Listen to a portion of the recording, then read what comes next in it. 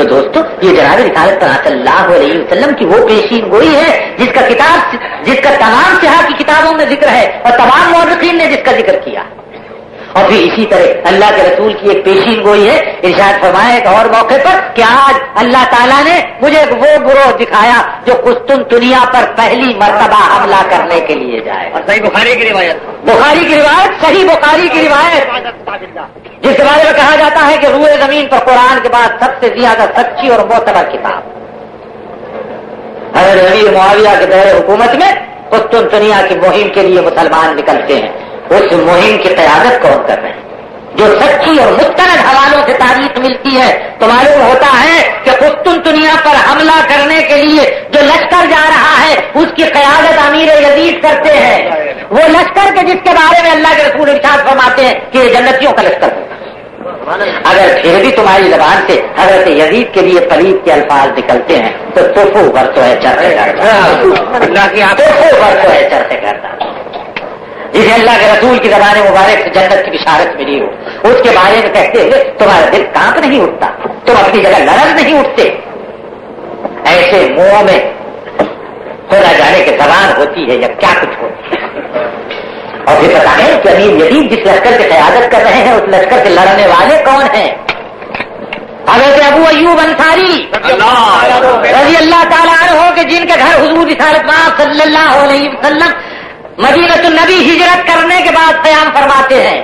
حضرت ابو ایوب انصاری کو معلوم ہوتا ہے کہ مسلمان قسطن دنیا کی مہم پہ جاتے ہیں بوڑھے ہو گئے۔ قبر میں پیر لٹکائے بیٹھے ہیں۔ دو قدم چلا نہیں جاتا۔ لیکن کہتے ہیں کہ بخدا اللہ کے رسول نے جس لشکر کے لیے جنت کی بشارت دی ہے میں اس لشکر میں ضرور شریف ہوں۔ مدینت النبی سے نکلتے ہیں۔ جنس پہنچتے ہیں۔ امیر یزید کی کمان میں قسطن دنیا جاتے ہیں۔ اور آج بھی قسطن دنیا کی فقیر کرے حضرت ابو ایوب انصاری کا مزار ہے جو مسلمانوں کو یہ مجدہ اور یہ بشارت سنا رہا ہے کہ یہ وہ جنتی صاحب کرام میں سے ایک جنتی صحابی ہے جو قسطن دنیا کی پہلی مہم میں شریک ہونے کے لیے آئے تھے اور زمین میں ان کے دفن ہونے کی برکت ہے کہ اللہ تعالیٰ نے قسطن دنیا پر لا الہ الا اللہ کا پرچم تکبیر۔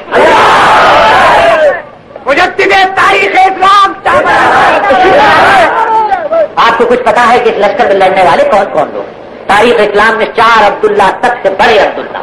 اللہ عباد لہم حضرت عبداللہ ابن عباس حضرت عبداللہ ابن عمر حضرت عبداللہ ابن زبیر حضرت عبداللہ ابن عمر ابن عاص۔ انشاءاللہ موقع ملا تو ان میں سے ہر ایک کے بارے میں تفصیلات آپ کے سامنے بیان کروں گا۔ چار اسلام کے جلیل القدر لوگوں میں سے۔ اور یہ چار کے چار اس لشکر میں امیر یزید کی قیادت میں لڑنے۔ اور نہ صرف یہ عزیز و دوستو مستند تاریخوں سے یہ پتا لگتا ہے کہ اس لشکر میں بطور خاص شریک ہونے کے لیے حضرت حسن اور حضرت حسین اگر یہ حقیقت نہ ہوتی تو کربلا کے میدان میں تبری کی روایت کے مطابق حضرت حسین کی زبان سے یہ کبھی نہ نکلتا کہ مجھے دلش جانے دو کہ میں اپنا ہاتھ یزید کے ہاتھوں میں دے دوں اور اپنے مسائل کو یزید پر دوں کس وجہ سے حسینی کی ترقین کرتے ہیں۔ کس وجہ حسینی کی تقسیم کرتے ہو؟ کہتے ہو کہ یزید ملوکیت اور استحصال کا سب سے بڑا عالم بردار ملوکیت کسے کہتے ہیں؟ بادشاہ اور اگر بادشاہ کے لیے کہتے ہیں تو قرآن اٹھا کے دیکھا ہے کبھی۔ بنی اسرائیل کے کتنے پیمبر ہیں جو بادشاہ ہیں حضرت داؤد پیمبر بھی ہے بادشاہ بھی۔ حضرت سلیمان پیمبر بھی ہے بادشاہ بھی ہے۔ حضرت یوسف کا خطہ پڑا ہے عزیز مصر بن گئے تھے ملک ہی تو بنے تھے بادشاہ مصر بن گئے تھے۔ کس منہ سے کہتے ہو؟ اور اگر منافقوں تم سچ کہتے ہو کہ تم ملوکیت کے خلاف ہو تو جاؤ اور سرحد پار نعرہ لگاؤ شہنشاہ ایران کے خلاف۔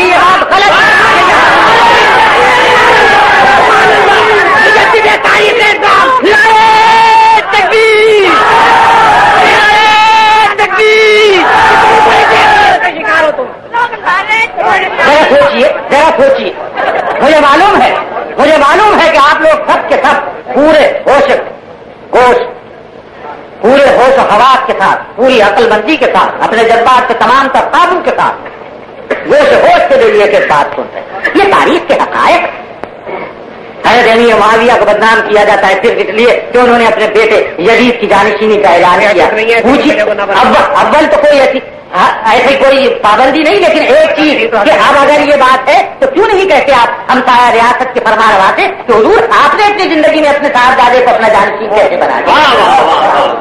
وہاں کوئی بات نہیں جاتی۔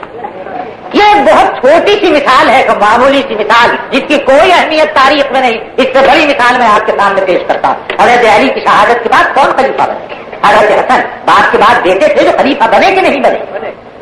حضرت حسین، حضرت علی کے صاحبزادے ہیں۔ حضرت علی امام، ان کے بیٹے حسن امام بھائی ان کے حضرت حسین امام، حضرت حسن کو تو صرف قطر میں رکھا۔ تاریخ کی بھرتی کے لیے، ورنہ کہیں حضرت حسن کا نام کبھی سنا ہے؟ کبھی کوئی تذکرہ آتا ہے؟ ایک اور صاحب دادے ہیں، حضرت علی کے، جن کا نام محمد ابن حنفیہ ہے۔ انہیں محمد ابن علی بھی نہیں کہتے۔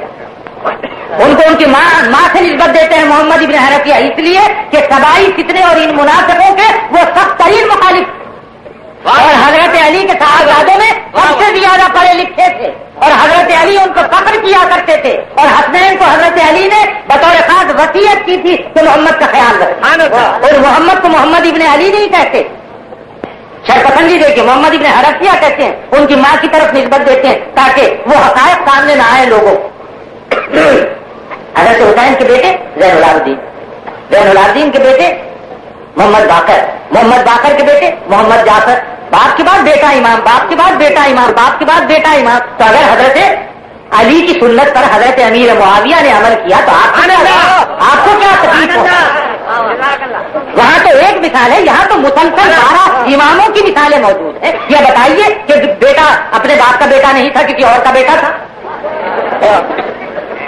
یہ تو واضح طور پر مثال موجود ہے کہ باپ کے بعد بیٹے ہی جانشین ہوئے ہیں، کوئی اور نہیں جانشین۔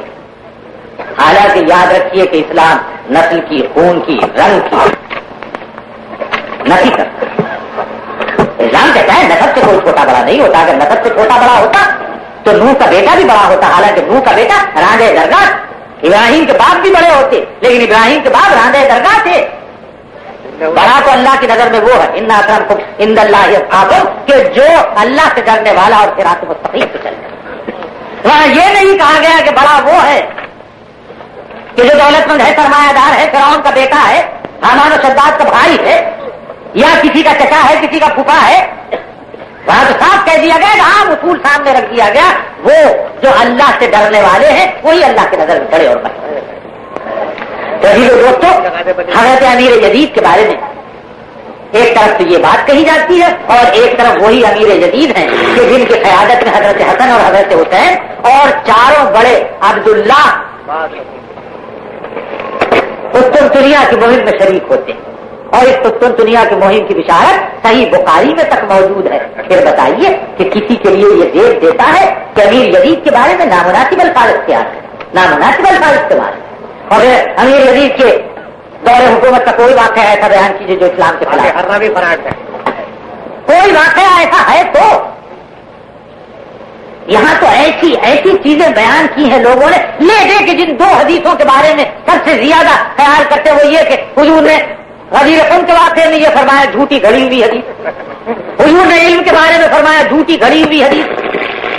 آپ نے سنا ہوگا۔ پھر تو مسلم فردوس میں سب سے پہلے دہلنی نے یہ گھڑی ہوئی اور جھوٹی حدیث کی ہے۔ حضور کے نام سے یہ بات بیان کی گئی کہ حضور نے فرمایا کہ میں علم کا شہر، علی اس کا دروازہ۔ اس حد تک تو بیان کر دیا گیا، چیز کو نکال لے کے، لیکن مسند فردوس میں دہلمی نے جو پوری گھڑی ہوئی حدیث دی ہے، اسے بیان نہیں کرتے۔ جیسا کہ آپ نے رحمت اللہ عالمین والی میری تقریر میں ٹی وی سے سنا ہوگا کہ پوری تک حدیث یوں ہے کہ حضرت ابو بکر بنیاد ہے اس شہر کی۔ حضرت عمر دیوار ہے حضرت عثمان چھت ہے اور حضرت علی دروازہ۔ لیکن حدیث کے گھڑے ہوئے اور موضوع ہونے کی ایک چھوٹی سی نشانی میں آپ کو بتا دیتا ہوں جو آپ میں سے بھی ہر شخص سمجھ لے گا۔ فن کی باریکیوں میں درائز کے مسائل میں منتق کی الجھاوے اسماء الرجال کی باتیں سب چھوڑیے معمولی سی ایک بات بتاتا ہوں کہ جس سے یہ معلوم ہوگا کہ یہ حدیث گڑی ہوئی۔ میرے عزیز و دوستوں یہ بتاؤ کہ کسی شہر پہ بھی چھت ہوتی ہے کہیں گھر پہ تو چھت ہوتی ہے شہر پہ تو چھت نہیں گھر پہ تو چھت ہے شہر پہ تو چھت نہیں پوری حدیث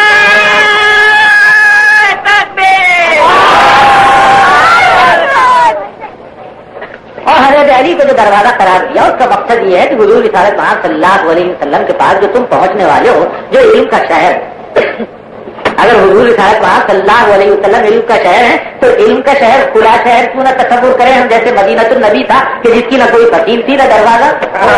یہ کیوں تصور کرے کہ وہ اب ایران کا ایک ایسا خاص شہر تھا کہ جو فتیلوں سے گرا ہوا تھا؟ ان کے تصور میں تو مستقل طور پہ ایران بتا ہوا ہے، ایران کا کلچر بتا ہوا ہے۔ اب حضرت علی کے پاس سے گزر کے دروازے میں سے حضور کے پاس جائیے اور لوٹ کے جب تبرہ کا یہ انداز خاص ہے۔ کہ جب لوٹ کے حضور کی تعلیمات سے مستفید ہو کے آئیے تو پھر یہاں ٹکرا کے یہاں سے تعلیمات حاصل میں کہتا ہوں ابو بکر ہوں کہ عمر ہوں عثمان ہوں کہ علی ہوں حضور تعلیم صلی اللہ علیہ وسلم کی کے کفے پا کے بھی برابر کے کفے پا کے بھی برابر نہیں علی کو زہد اگر اللہ تعالیٰ کی بارگاہ سے عطا ہوا تو کس کی جوتیوں کے تو عطا ہوا تھا؟ حضور کی تعلیم صلی اللہ علیہ وسلم کی جوتیوں کے اور باتیں ذرا تھوڑی سی تلخ ہو جائیں گی اور نامناسب ہو جائیں گی، میں کہنا نہیں چاہتا۔ لیکن تاریخ بڑی ظالم ہوتی ہے، جو حقیقتوں کو سامنے رکھنے والی ہے۔ یہ جو بتایا جاتا ہے کہ حضرت علی بڑے شجاعت ہیں بڑے بہادر تاریخ اسلام میں ہیں حضرت علی کی شجاعت کے واقعات۔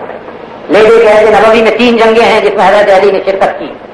حضرت ابو حضرت ابو بکر اور حضرت عمر تو عہد نبوی کی ہر جنگ میں حضور کے ساتھ ہیں۔ لیکن خیبر کے موقع پہ حضرت علی کو حضور گھر پہ چھوڑ کے جاتے ہیں۔ تبوک کی لڑائی میں حضرت علی کو حضور گھر کے چھوڑ کے جاتے ہیں۔